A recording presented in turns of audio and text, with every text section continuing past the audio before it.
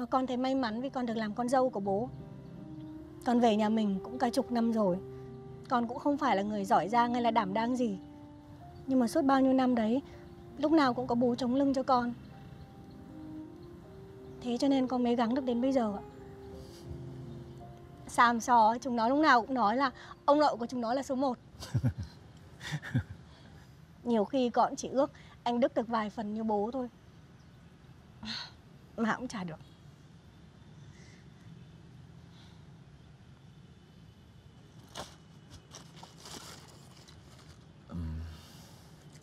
Con cầm lấy Cái gì thế ạ? Bố vừa giao nhà cho người ta Cũng trả hết nợ cho cái thương rồi Còn thừa ra một khoản. Bố giữ một ít về quê Còn đâu bố đưa cho con để phòng khi cần thiết. Bố định thuê nhà cho bà ấy với cái thương xong mới về quê Nhưng bà ấy không nghe thì đành chịu thôi. Bố về quê cũng không cần gì nhiều đâu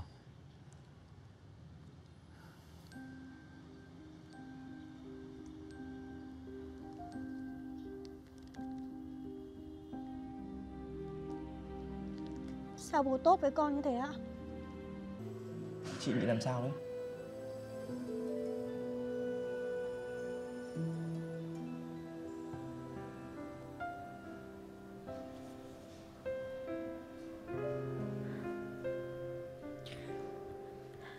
Là cậu thật à?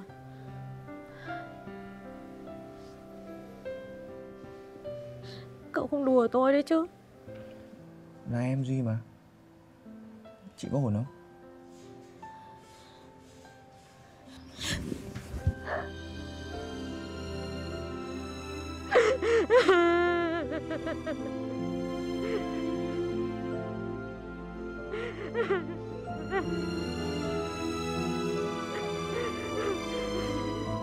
Bây giờ thì tất cả mọi người đều đang sống chung một nhà Có những thứ có thể dùng chung được Nhưng mà có những thứ sẽ phải rạch ròi ạ Để tránh mất lòng về sau À thì ý của mợ. Là bây giờ đồ ăn, thức uống ở trong nhà là con với mẹ không được động vào đâu đấy. Mợ thích rạch ròi chứ gì? Bây giờ chị muốn thế nào? Chị nói luôn ra. Không cần phải vòng vo nữa. Ý của em là từ bây giờ nếu mà em nấu món gì cho các cháu, Em sẽ ghi chú ở trên hộp. Con xin mẹ với lại chị để ý ở trên đấy dùng con ạ. Ở trong nhà tắm thì dầu gội với lại sữa tắm mọi người có thể dùng chung được. Nhưng mà dùng xong thì cố gắng xếp gọn lại. Đừng để là người sau đi vào lại phải dọn cho mình. Ôi dào ôi Cứ làm như gọn gàng lắm ý. Với lại mỹ phẩm ở trong phòng của con Con cũng không quen dùng chung với người khác. Và điều cuối cùng, Từ bây giờ là con sẽ không bước chân vào phòng Sam so Nếu như mà mẹ với chị không có ở nhà. Thế cho nên là con mong là cả chị với mẹ cũng sẽ làm điều như thế Với phòng của con ạ.